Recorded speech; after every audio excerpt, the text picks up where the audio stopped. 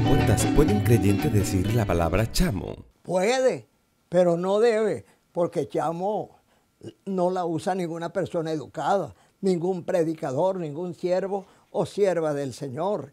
Chamo la usan los malandros. Chamo para acá, chamo para allá.